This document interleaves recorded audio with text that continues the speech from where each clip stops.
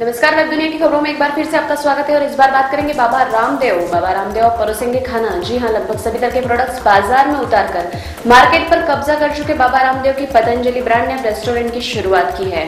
पतंजलि चंडीगढ़ के नज़दीक पौष्टिक नाम से अपना पहला रेस्टोरेंट खोला है, जहाँ घर जैसा शुद्ध और सात्विक खाना परोसे जाने का दावा किया जा रहा है। हालाँकि अभी तक इस रेस्टोरेंट का औपचारिक रूप से उद्घाटन नहीं हुआ है। चंडीगढ़ के पास जीरकपुर में इंडियानो होटल में पतंजलि के पौष्टिक रेस्टोरेंट की शुरुआत की गई है। रेस्टोरेंट की दीवार और यहाँ तक कि मेनू कार्ड पर भी बाबा रामदेव और आचार्य बालकृष्ण की फ़ोटो लगाए गए हैं। अब रेस्टोरेंट बाबा रामदेव का है तो स्वाभाविक तौर पर यहाँ केवल शाकाहारी भोजन ही परोसा जाएगा और केवल शाकाहारी नहीं, आयुर्वेद पद्धति पर खरा उतरने वाला ही खाना यहाँ मिलेगा। इसका इंटीरियर घरेलू स्टाइल में है, जहाँ की वस्तुएँ लकड़ी और तांबे की है। यहाँ की लाइटिंग और डिज़ाइन में भी पतंजलि ब्रांड की झलक साफ़ नज़र आती है। है।